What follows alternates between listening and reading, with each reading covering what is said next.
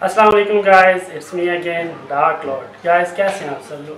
سب سے پہلے تو آپ لوگوں کو رمضان مبارک، رمضان کی ساری برکتیں مبارک، ساری کی ساری خوشیاں آپ لوگوں کو رمضان کی مبارک ہو آج کی ویڈیو بنانے کا مقصد آپ لوگوں کو پانچ باتیں بتانا اور آپ سے عہد لینا کہ آپ لوگ وہ پانچ باتوں میں سے عمل ہر کسی بھی کریں گے، ٹھیک ہے؟ سب سے پہلی بات آپ لوگوں نے سارے کے سارے روزے رکھنے کیونکہ میں بچپن سے جب اتنا ستانا، اس وقت سے میں سارے کے سارے روزے رکھ رہا ہوں تو اس دفعہ آپ لوگوں نے بھی سارے کے سارے روزے رکھنے۔ اب تو اتنی گرمیاں بھی نہیں ہیں۔ پہلے تو جون، جولائی کے روزے ہوتے تھے۔ سخت گرمی ہوتی تھی۔ اس وقت بھی روزے رکھتے تھے ہم لوگ۔ تو آپ لوگوں نے اس دفعہ سارے روزے رکھنے۔ اب تو موسم بھی ٹھنڈ ہے۔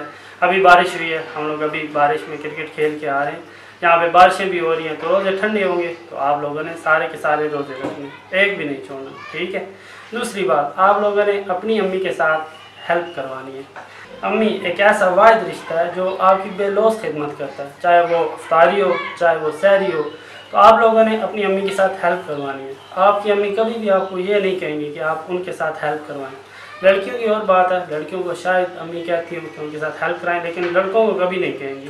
اس لیے یہ آپ لوگوں کی ذمہ داری ہوتے ہیں، جو لڑکے ہیں، کہ وہ اپنی امی سے تھوڑا بہت ہیلپ کروا دیں، ان کی تھوڑا ہاتھ بٹا دیں۔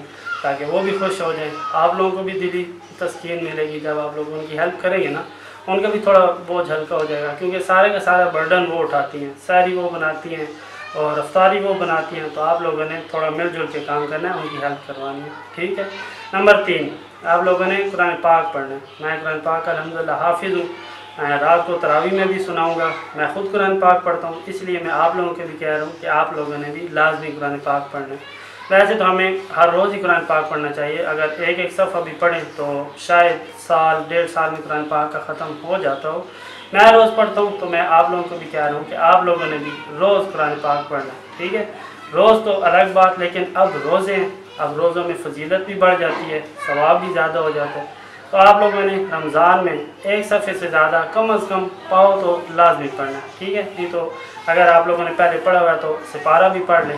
مقصد بتانے کے یہ ہے کہ آپ لوگوں نے قرآن پاک کی تلاوت لازمی کریں گے اوکے؟ چوتھی بات، آپ لوگوں نے رمضان کے روزے سو کے نہیں گزارنے۔ آپ لوگوں میں سے بھی کچھ ایسے ہیں جن میں میں بھی شامل ہوں۔ ہم لوگ رمضان کا روزہ رکھ کے، مین سہری گاڑ کے ہم لوگ سو جاتے ہیں۔ یعنی کہ نماز پڑھ کے سو جاتے اور پھر زور کے وقت کہیں جا کے اٹھتے تو آدھا روزہ تو ویسے ہی ختم ہو جاتا ہے۔ اور ہم لوگ یہ کہتے ہیں، چلو، آدھا وقت گزر گیا، آدھا وقت تھوڑا موبائل یوز کر لیں یا جو بھی لیپ ٹاپ وغیرہ یا پھر کچھ بھی یوز کر کے روزہ گزار لیں۔ تو اس طرح بھی آپ لوگوں نے نہیں کرنا۔ روزے کا اصل مقصد یہ ہے کہ اللہ تعالیٰ کی عبادت کی جائے۔ تو ہم لوگوں نے تھوڑا بہت اللہ تعالیٰ کی عبادت میں بھی وقت گزارنا ہے۔ پانچویں اور آخری بات، آپ لوگوں نے سب کو معاف کر دینا انسان خطا کا پتلا ہے غلطیاں سب سے ہو جاتی ہیں۔ میں بھی شامل ہوں، مجھ سے بھی غلطیاں ہو جاتی ہیں، کیونکہ جن سے غلطیاں نہیں ہوتی، وہ تو فرشتوں کی ذات ہے نا۔ فرشتوں سے یا نبیوں سے غلطیاں نہیں ہوتی، انسان تو پھر انسان ہے نا، غلطیاں سب سے ہو جاتی ہیں۔ تو آپ لوگوں نے جن سے غلطیاں ہوئی ہیں، ان کو معاف کر دینا۔ جب آپ ایک دوسرے کو معاف کرو گے، تو محبت کی فضا پھیل جائے گی۔ اور جب محبت کی فضا پھیلے گی، پھر سارے مل جل کے رہیں گے اور ہنسی خوشی رہیں گے۔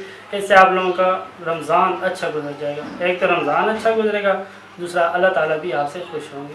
بس یہی پانچ باتیں تھیں، آپ لوگوں کو یہی بتانی تھی۔ اب آپ لوگوں نے لازمی ان پانچ باتوں پہ عمل کرنا۔ ٹھیک ہے نا؟ وعدہ کرتے ہیں نا میرے ساتھ۔ بس آج کی ویڈیو میں اتنا ہی بتانا تھا۔ ہنستے رہیں، مسکراتے رہیں، خوش رہیں، خوشیاں بانٹتے رہیں۔ اللہ حافظ۔